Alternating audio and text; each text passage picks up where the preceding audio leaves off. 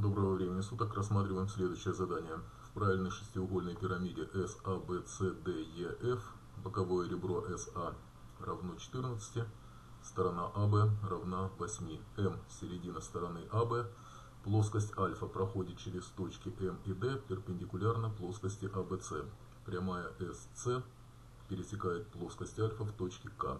Пункт А. Доказать, что МК равно КД. Пункт Б. Найти объем пирамиды МЦДК. Начнем чертежа пирамиды. СО высота, А, Б, С, Д, Е, Ф основание, М середина АБ, плоскость альфа проходит через точки М и Д перпендикулярно плоскости ABC. Пусть точка G это точка пересечения диагонали основания FC и отрезка MD проведем перпендикуляр через точку G к плоскости ABC.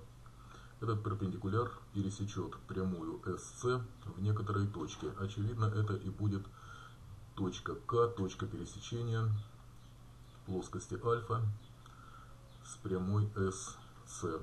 В самом деле получается, что КЖ прямая перпендикулярна основанию а BC, плоскости, плоскости основания ABC, а плоскость МКД проходит через эту прямую КЖ. А если плоскость проходит через прямую перпендикулярную плоскости, второй плоскости, то эти две плоскости взаимно перпендикулярны. Нужно доказать, что МК равно КД.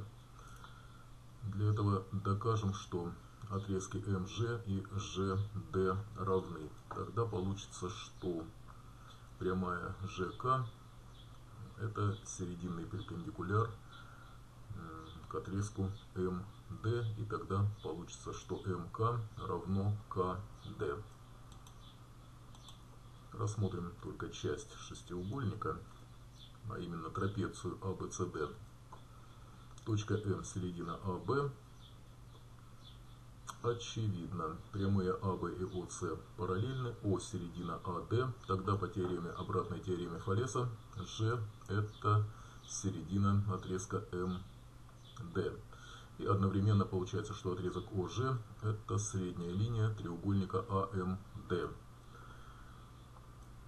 Тогда отрезок ОЖ равен половине АМ, АМ равно половине АБ и, соответственно, половине ОС. Тогда получается ОЖ это 1 четвертая отрезка ОС. Или СЖ так относится к ЖО, как 3 к 1.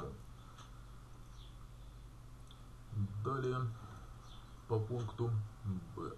Да, и что получается? Ж середина МД, ЖК перпендикулярно МД, ну, э, следовательно МК равно КД, пункт А доказан.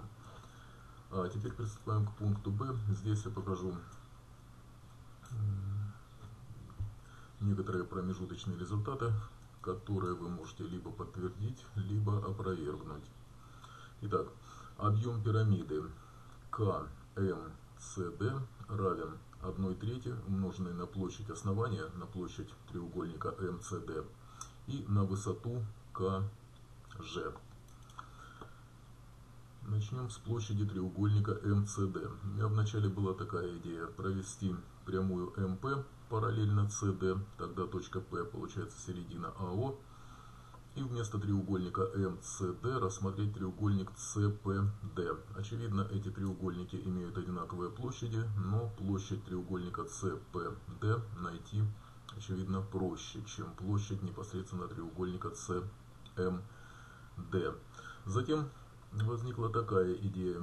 Мы ведь в процессе доказательства выяснили, что CG так относится к GO как 3 к 1. И, следовательно, если будем знать площадь треугольника OCD, то э, площадь треугольника CGD это 3 четверти площади треугольника COD.